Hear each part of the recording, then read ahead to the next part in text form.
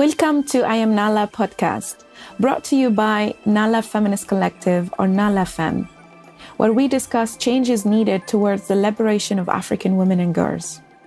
Nala Fem is a Pan African front of feminist leaders with a mission to foster, embolden, and mobilize women and girls from Africa and the diaspora for transformative feminist change.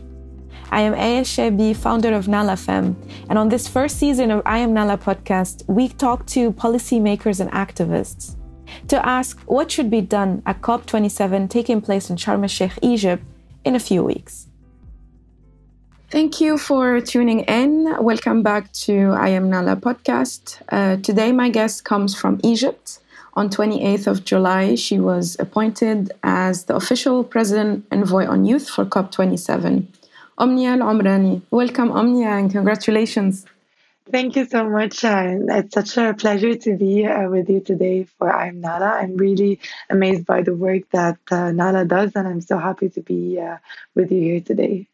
Thank you for joining us. And I really want us to take this opportunity for young activists to know more about your role. So, what does an envoy on youth for COP27? It's a first of its kind. What does it mean? Yes, so um, this year the presidency team decided that um, that over the years, young people always get the opportunity to attend COP and to speak at different sessions, as well as participate and connect. But we have been advocating for many years for our engagement to be more meaningful and to be part of not just attendance but the agenda setting especially of how negotiations uh, the events are created so that's why the cop27 presidency decided that our presence not just is about participation but it's about setting up the agenda of cop and this is where I come in. And so my mandate is to engage with young advocates as well as youth led organizations in the setting of COP, especially through the thematic days, which is organized by the COP27 presidency. We have around 10 days, and each day is focused on a specific theme. So, this is also part of what I do is to integrate young people and not just youth focused events such as the Youth, Young and Future Generations Day, which is going to be on the 10th of November, but also to mainstream youth speakers across all the different thematic days from adaptation to mitigation to gender, as well as science and so on. And the second part of what I do is to really build the capacity of young people to be able to participate meaningfully and have strategic and effective goals out of their participation at COP, be it the blue zone or the green zone, as well as really empower young people to speak in a way that is intergenerational. So we're planning to have intergenerational dialogues between young climate advocates and solution makers and policymakers from ministers to heads of delegation as well as negotiators. So, so take us through it. Uh, for a young climate activist who it's their first time to be at COP, right? And it's two weeks long. It's thousands of people joining, and they might be overwhelmed. How do you think they should uh, make the best of their time? What's actually the process? What are the key days, the key moments, the key um, color zones that you mentioned? Can you explain us a little bit the process? Yes, of course. So uh, I really love when someone asks me this question because around four years ago, back in 2019, I was the first time, it was the first time for me to attend the COP. Uh, it was in Poland. And I remember I was so overwhelmed by how you know each hour at cop there are so many things happening but it's it's about what what I was lucky to have is first of all an induction by my organization, and this is what we're already planning is to have a simple toolkit for young people to understand the very basic tools to be able to attend and prioritize what they where they can be. So COP is divided into two zones. The first zone is the blue zone, which is the zone where all the negotiations happen, either open or closed, and it has to be accredited uh, organizations and participants with a specific badge to be able to attend the blue zone. The blue zone there are negotiations open and closed and there are also side events and then in the green zone, this is more open to civil society organizations. It does not need a specific badge to attend, but it's a, a space for all the different entities, uh, organizations, as well as um, innovators and startups to demonstrate their efforts and climate solutions. And there are also diversity of sessions, ideas cafe, networking, and so on. And then for the thematic days, this is a day that is organized by the COP27 presidency.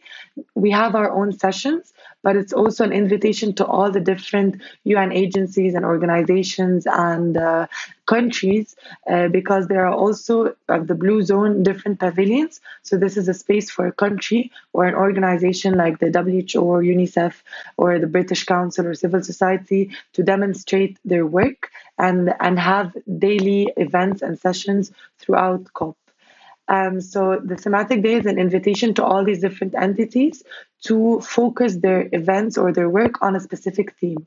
If it's adaptation, there is mitigation, there is youth, there is also gender and different uh, themes that are also published on the on the COP27 presidency Twitter as well as website. So how can also young people make the most out of their participation? I think the the, the most important step is to do your research, and we were, we are going to provide you with all the different uh, tools and introductions to what is COP and what are the different meanings of what the negotiations are, what are the different governing bodies, uh, what are the terminologies that are being used, the abbreviations, because it's very complex. But once you understand them, it just gets easy the next important step after you do your research about the Paris Agreement, about where we are right now and what is the aim of this COP, like why, what are, what is COP 27 going to discuss? And I highly recommend a website called the Climate Tracker. It has all the different updates throughout COPs and throughout the years. And then what is the agenda points COP 27 is looking at? The next step is to have your own calendar. We are going to create a calendar for young people with youth events, but it's important for you to have your own calendar uh, of the two weeks. What are you planning to attend? What are the negotiations tracks that you're planning to follow? What are the side events that would be very interesting for you to attend? And who are the partner organizations who are going to be there so that once you finish this event, you can approach them and they can help you with your advocacy and help you with your work. So uh, planning ahead. And then what really helped me is attending COY, which is the Conference of Youth that happens one day before COP. And it is a conference made for young people to build their capacity to understand how they can participate at COP. And at the same time, it's an opportunity for them to deliver their inputs in a global youth statement, which is a declaration that will be presented directly to the COP27 presidency, as well as used by young uh, advocates at COP itself with our demands representing young people from all countries. Amazing. Thanks for sharing that. So you you are expecting between 25,000 to 30,000 people to be there in Sharm el-Sheikh. What's the quota of this, uh, if there is any, that will be young? And also, you know, it's different from being at the negotiation table than just attending events or speaking. So, is there also a quota particularly for that? I know that uh, you know uh, government delegation usually is the one that can bring that, and we can encourage young people to to come with government delegation. But also maybe for those it's their first time and they're trying to understand how COP function. Can you explain that process where you're just there, you're participating, you're civil society, you're pushing, you're advocating through your message, but also there is the negotiation where decisions are actually made. Uh, yes, um, that was actually a discussion I was having yesterday with my team is that how can young people be part of the negotiations? Because you can be part of the negotiations through two different ways. Either one, you can be part of the country that has the vote and has the voice and has the power to influence negotiations because at COP there are parties who are the ones who are negotiating, and then there are the non parties or the observers, which is in that case where all the youth led organizations, all the different civil society organizations are part of. So, one way that young people can be part of the negotiations to be part of their national country delegations. And this is a, an agenda point that we are planning to push for for this COP and the next one and future COPs in general is to how to integrate not just young negotiators but also young delegates to be part of their country delegations. This is already starting to be there with several countries in Africa and Brazil as well as in Europe and Sweden, Netherlands, Um, and then in Africa, I know there's in Kenya, Nigeria, there's in Tunis, and there's in Morocco, uh, where they have invited young delegates to be part of their country delegations. And we want to do that you know to have the same conversation as you have seen how for example the gender conversation at cop has been very vocal and we want to do the same with youth that we need to ask the question are young people there are young people part of the delegation? Is there a young person speaking at the negotiation room or not? So this is a question that we have to ask. We are asking but not yet strong enough and cop27 is an opportunity to do that especially for young people from africa who will now get the opportunity opportunity to be part of cop more than uh, previous years and then the second way by which young people can still be part of the negotiating process is to be able to lobby uh, with their advocacy, with the global youth statement, and find different countries who, who are allies to uh, the meaningful youth participation agenda and the youth engagement agenda. So, if we are not at the table, we can also lobby with the countries that will be there. And there are many countries that are supportive, but they need the means of how to integrate youth at the climate agenda. I'm glad you mentioned uh, the gender aspect because you know young women are part of both the youth movement and the women movement, and they're part of the gender agenda and the youth agenda. And sometimes it's it's a blessing and it's great because we have a leg in both, but also it's a challenge because sometimes young women then are forgotten and there is not a specific engagement for them. So uh, I know this is also big on your agenda. How, how do you plan to do that? How do you plan to make sure that, especially young African women, are at the table of negotiation? They are increasing in number and in influence in this COP. That's also very important to tackle because you know gender has been the gender advocacy has been very exemplary at COP specifically because they've been very loud, they've been very persistent. And that is why now at COP, we always ask the question is this panel, is this negotiation room, is this delegation uh, equal in gender representation or not? Can we see the same number of women or men or not? If we don't see it, then we start being not accepting it and trying to change it. And I believe that as young people, when we are doing our own events, and for example, when I'm doing my own work, being very conscious about how young women are going to be involved and ensuring that if I'm if we are organizing a panel, for example, we have to make sure that we have young women participating in that panel, demonstrating their work, and this is what we'll will have the opportunity to do is to hold different platforms for young people in general to demonstrate their work and their efforts and to be able to speak. And I and my team will make sure that whenever there is this panel, whenever there is this, these are their these presentation or platforms, we have young women engaged and able to uh, share their efforts, share their work, but also share their voices in a way that is meaningful and equal in representation with other young participants.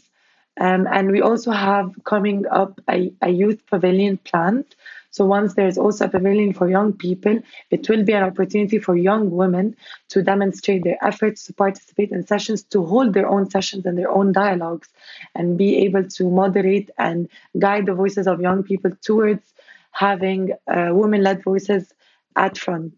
Yeah, uh, that, that that would be great. Uh, actually, the youth pavilion, so for the first time, happens at COP. So that's also uh, a great Hopefully. milestone. that would be amazing. Uh, so I have a couple of questions for you that come from young people themselves, young activists who have been from one COP to the other, uh, you know, and they have they know the challenges and they're anticipating what's going to happen in Egypt. So the first one is there is always this main um, three main challenges of visa, accreditation, and funding. How does Asia plan to tackle these three, especially for young activists, young African activists? Because you know we always struggle with the visa, but this is our African COP, so we're you know hoping more that uh, visa won't be an issue, but also accreditation and funding. How are you advocating for that? Yes, so in terms of visa um, and uh, and accommodation as well, uh, the COP27 presidency are working. They are very much prioritizing the process. I think for the visa, it's actually, you know, it's good that it's in Egypt because the visa processes are definitely much more easier than it was in the previous COPs with Glasgow, Madrid, and so on. Um, but also, the presidency are working very closely with the embassies to facilitate the process of getting visa for COP. And normally, once you register, you always have a support letter with you uh, to be able to apply for visa, and it actually expedites the process. But also, the presidency team is putting more effort in facilitating visa as well as for accommodation. It's it's at the website. Uh, you can check, and the and the website really facilitates the process of booking your accommodation ahead of COP. And I highly recommend that the earliest the better. And this is the case with every COP. And I previously had experiences with accommodation when it's always last minute because for me, when I was heading my delegation of students, we always came from all these different continents and we need to find the same accommodation. So we always try to have it as earliest ahead so that it's also much more affordable and convenient. But what's really good about Sharm el Sheikh as a city is that it's so it's, it's a it's a city that is made for conferences. So all the different accommodation and the hotels around the conference itself, it's going to be very easy to move from one hotel to another, and there will be facilitated transport transportation. It's not. It's good that it's not like a capital city where it's super difficult to be able to access the conference venue and go back to your hotel. It's a it's a city that is by the sea and open for the conference itself with all the hotels and all the transportation tailored for participants and to facilitate uh, they're moving from one uh, from their accommodation to the COP venue itself. So in, in regards to you know finding around if they find an hotel that's not so close, it's still okay because there will be transportation available to take you from there to the COP venue. In terms of accreditation, um, so this is more a process facilitated by the UN FCCC itself. Um, the registration for for getting accreditation was in July, the end of July. But on the other hand, there are YOUNGO, the youth constituency, are opening many calls for young participants to attend. Um, it's also the challenge of getting funding, but sometimes some COPs have for example, scholarships before, but some also have badges available, which is the biggest challenge. So we're always sharing all these opportunities at the there's an African uh, youth uh, WhatsApp group that we have, and it's really a pool of uh, sharing opportunities. Organizations share their last minute badges for young people to still uh, get the opportunity to attend. That's brilliant. And in terms of uh, the funding, does COP itself provide funding, or young people should go and fundraise from other organizations? The idea is, is that COP is divided into different constituencies. So it's it's always very challenging because all the different constituencies we always want to support them but with funding it's it's very challenging but i i've seen many opportunities come up for example with climate tracker YOUNGO as well but YOUNGO is a youth constituency so it it, they will not be able to provide funding for attendance, but they would be able to provide badges for attendance. But I know that throughout, you know, the months that always leads up to COP, I see many opportunities coming up from different organizations to fund youth participants. But it's always the, you know, the importance of being updated with all these different opportunities. Absolutely. And maybe we can encourage many donors and partners and funders to you know, make space for funding young uh, African activists in within their budget. Also, within their delegation, a lot of international organizations have the opportunity to have their staff and a large delegation go to COP. So I think part of their commitment to engage young African activists is to provide that seat or spot or space uh, for them. The other call from young activists around COP, especially in Egypt, is saying that Egypt is the largest oil producer in Africa. Egypt has not set a target for reducing net zero emission.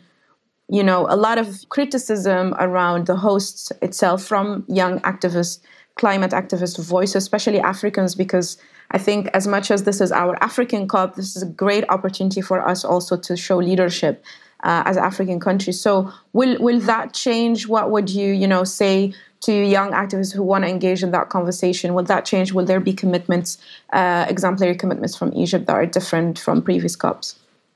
Yes, um, that's a great question because I know that uh, for Egypt we have just updated our nationally determined contributions or NDCs, uh, where we have scaled up our commitments and ambition. And this COP is, is not just about commitments, it's about implementation because countries have already uh, submitted their NDCs and their plans. But the biggest question that we should ask as young people are you implementing your plans or not? And how are you implementing them? And is your implementation um, have, does it have young people engaged or part of the implementation process? Because it's not just our role as young people to advocate for scaling up the ambition because many countries can commit but it's also about asking countries and working together with them in implementing these commitments. Um, and this also comes to a very important point is that you know, I also come from a very strong health and climate change background where at each COP we really call on countries to scale up your ambition, not just for the environment or for the economy, it's also for the health of your community, the health of the children and the future generations that are going to be impacted most if commitments are not scaled up. But right now, our advocacy needs to be in line with what is happening because we know that in 2020 and in COP26, countries were submitting their NDCs. And then in 2023, we will be asking the question of are you on track? And we will be evaluating the progress. So, right now in 2022, it's about implementation. So, this is the question that young climate activists will have the opportunity to ask and will have the opportunity to be a key part of is how are countries going to implement uh, their commitments and and this is the same for Egypt and all countries not just in Africa but around the world.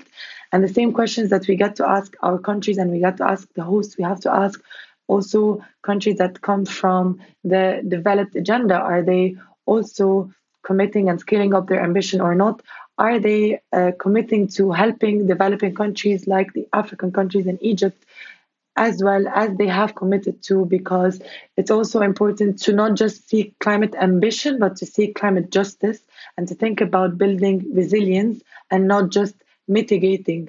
Because what, what is also an opportunity uh, for us, this African COP, is not just highlight mitigating and reducing carbon emissions. It's important to highlight building climate resilience and adapting to the climate impacts that are already accelerating. And and African countries specifically, we need to uh, have the support from countries, developed countries from the global north, to be able to support our adaptation efforts because we are one of the most impacted by by climate change. So it's not just our economies, it's also our livelihood, our food and water security that that we need to adapt to more than just thinking about mitigation. The priority would be building resilience as well as resilience in a way that is neutral and in a way that is carbon free. Uh, so it's like you know doing two agendas at once, but it's important to emphasize adaptation and climate resilience. This COP itself.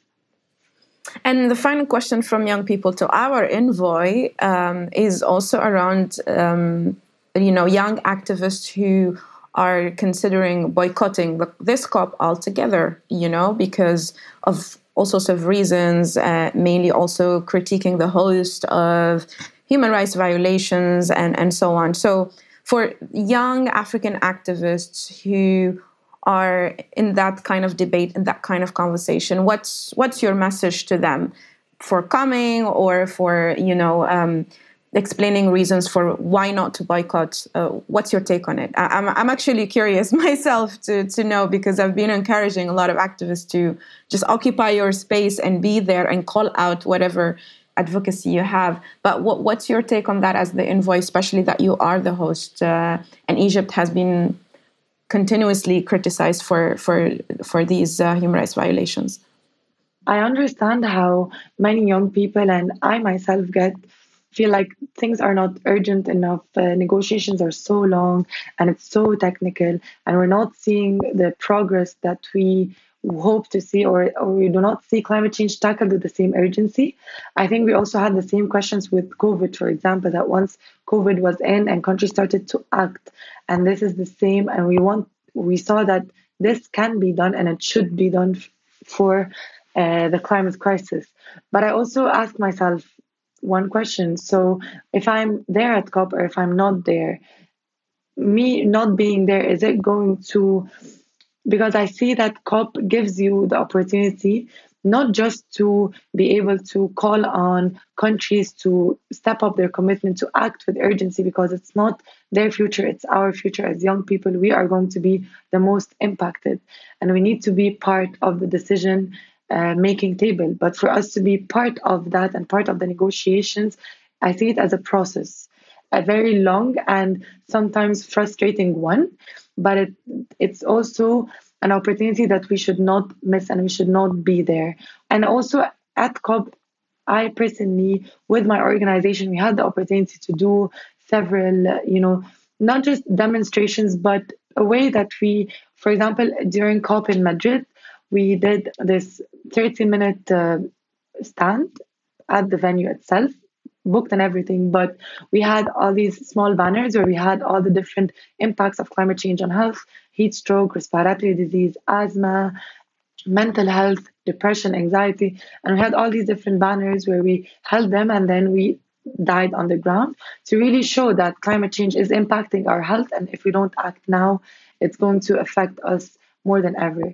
And this, I, the message behind this is just to and, and, it was at the blue zone where all the negotiations were happening and negotiators were passing by in the morning to go to their rooms and start discussing. So it's kind of bringing raising awareness to how urgent your discussions are and the the small technicalities that you are figuring out figuring it out.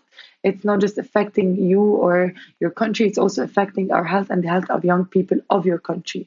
So sending in messages like that is important. And it was important for us to drive several agendas gender, health, and youth. And the youth agenda has still a long way to go. So instead of not pushing it at COP, no matter how challenging and hard it is, and looking at the small wins, because each small win is going to drive a greater win, which is what we're seeing now with many different agendas at the conference itself. We're also seeing it, as I said, with the gender agenda and with different others like the food, as well as the water, as well as the renewable. The renewable agenda was not as it is now when COP started. So I think that the youth agenda deserves that commitment and that dedication. And for us as young people, we are known for being relentless and for being very persistent in our demands and in our future. So this should be the same for COP uh, instead of choosing not to be there. Yeah, I think there there are diverse ways of activism and you know we have a toolbox of different ways of doing activism and we need to choose the right one for the right occasion. So hopefully as young people also we you know we continue these debates they're very important how we organize ourselves in a united way impactful way and choose the tools we we use to put pressure and and to advance the agenda at the end of the day we all really want a future that is just and equitable. So my my uh, final few questions for you is really around the Africa Europe cooperation, and I know you mentioned in previously around also the commitments from European countries, the commitments from African countries, and I wanted to also know your your take on engaging because you are the envoy for global youth on COP. Uh, your your take on how you're going to engage European youth and, and African youth in this. Not only you know global youth because you will have diverse um, constituency there, but we have a continuous framework between Africa and Europe that we're trying to find a way of working together. It's not there yet, you know, and we have, especially on climate change, a lot of disagreements. Are you planning anything around that, around this uh, Africa Europe partnership within the youth framework? Um, yes, so I was really lucky the, the past year uh, to be part of the first ever uh, youth sounding board that was created by the European Commission. Um, it has a, a, group of around 15 young leaders that serve and um, provide insights to what the European Commission is doing, especially with partnerships. And we had the opportunity to uh, participate and to deliver recommendations for the AU, uh, for the African Union, um, the conference that was happening, as well as several partnerships that we were able to see from that perspective. And I, and what was really uh, surprising for me as you mentioned, that climate change was not really on the agenda, or it was not part of the plans yet. It was still very preliminary. And I think that gives me the opportunity now to explore how young leaders from uh, the African Union, from the European Commission, to be able to more to engage more in climate change because we were really building their capacity and asking them like you need to prioritize your work at climate change and your partnership, especially with the AU.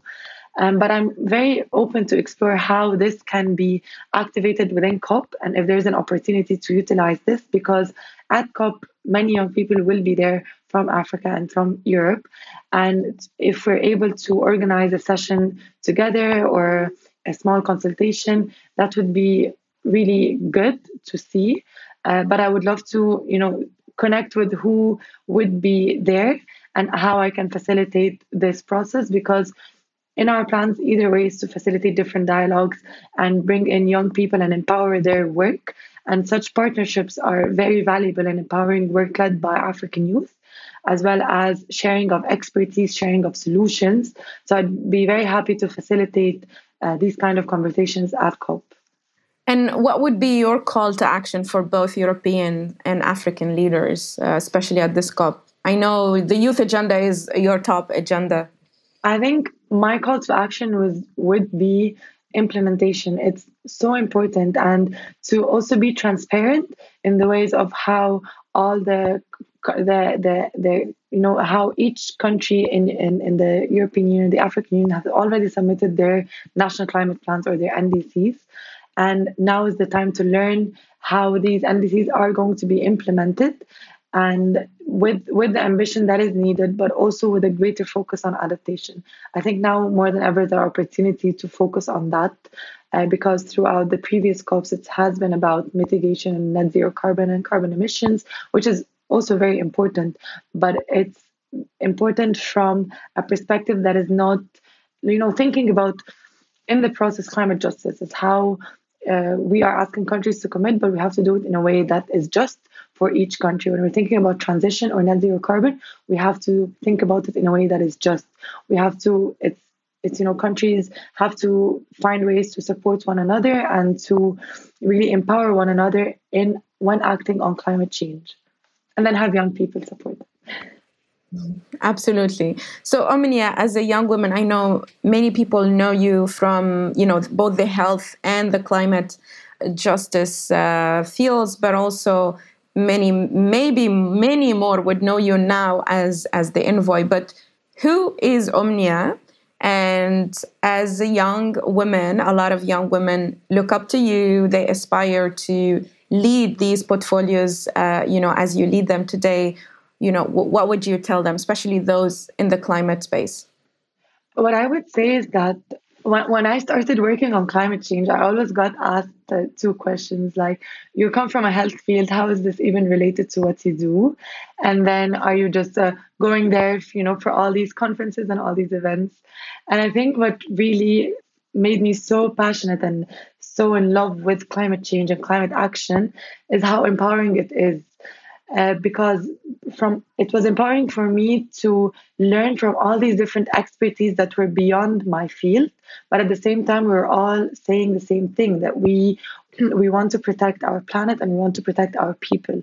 And this is not just about the environment it's about protecting the health of our people which depends on the health of the environment which sustains us. So this beautiful relationship and then finding me as a young woman having a role in it and having a very meaningful role not just by you know advocating and working with all these different organizations and policymakers but also an area that i'm so passionate about is education is how to bring in new knowledge to young uh, climate activists and young people to start caring and start understanding their role in the in the climate change conversation. And when you are working on climate change, it's not just because it's something that is extracurricular or it's something on the side. It's actually a responsibility that you have as a young person to protect and to advocate for the health of your environment and at the same time by thinking of it at different scales. So, as an individual, what can I do as Omnia, as a person, and how can I be uh, environment friendly and conscious about uh, what I what I do as a person, and then what I can do with my community, and how can I build their resilience and their understanding and empower them to take actions on their own.